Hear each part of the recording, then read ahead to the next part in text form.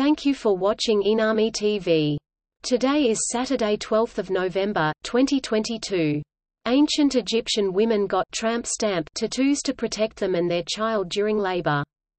The images include the god Bes who was believed to protect women and children, along with those that symbolize good luck and health. Archaeologists believe the tattoos were given during pregnancy as a way to protect the mother and child. A pair of mummies found in Egypt bear tattoos on their lower backs that include symbols used to protect women and children, specifically during childbirth. Ancient Egyptian women sported lower back tattoos, or tramp stamps, more than 3,000 years before they were popularized in the late 19 1990s.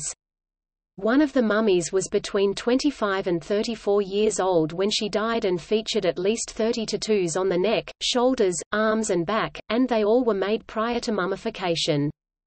Two mummies discovered on the west bank of the Nile River were found to have ancient markings on preserved flesh on their backs, which researchers said are associated with the god Bes who was believed to protect women and children, specifically during labor.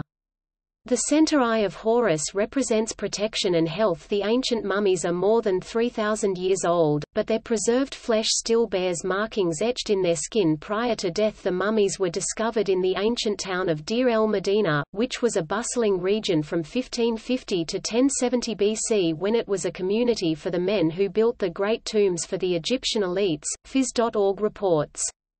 Several figurines were uncovered with the mummies, which also bear similar markings in the same places, on the lower back and upper thigh, and researchers say this provides even more evidence that the tattoos were used for protection. Please like and subscribe to Enami TV below.